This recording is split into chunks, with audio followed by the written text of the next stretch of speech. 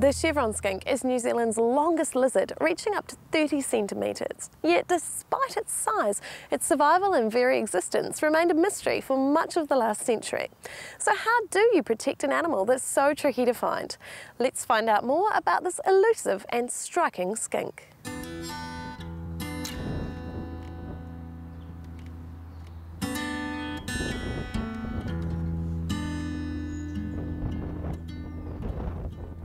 They were first sort of formally described in 1906 and then for the next 60 odd years they were thought to not, not exist anymore, that they were extinct. And part of that was because they, uh, the specimen that it was um, described from was mislabelled, so everyone was looking in the wrong place. So this is it. This is chevron country.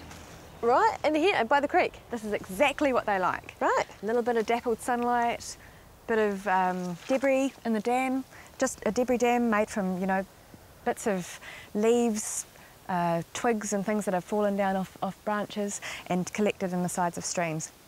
Ideal habitat. And uh, be tricky to find, I imagine. Uh, really hard to find. They look exactly, chevron skinks look exactly like a dead piece of uh, tree fern leaf. Oh. Oh. Yep. Yep. Oh. You, oh, okay. Oh, okay. This, this guy's quite small. He's not very big. He's, he's what we would call um, a sub-adult, like a teenager. Yep. Um, he's probably four or five years old. You can see the markings he's okay. got. They look just like yeah. the dead yeah. tree fern. This guy's lost his tail. Yep. Um, you can see where it's just starting to regrow. He probably lost that last summer. Um, and it, it, does grow quite slowly, but eventually it will grow right back. When they've got full tails, they're about, the tails are about one and a half times the size of their body length. So they're, they're very long and whip-like.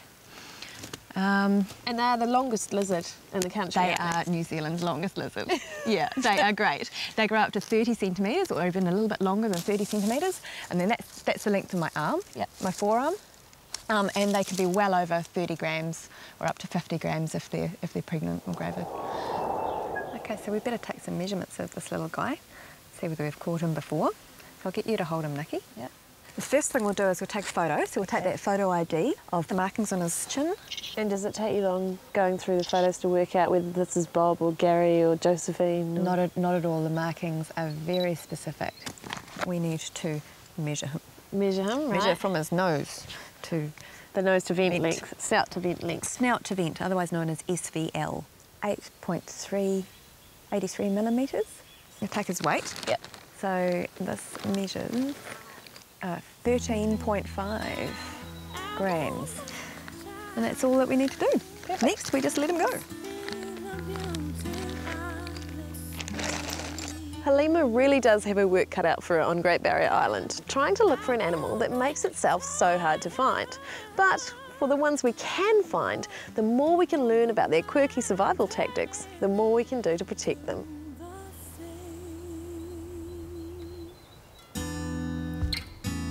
in any option, so feel free.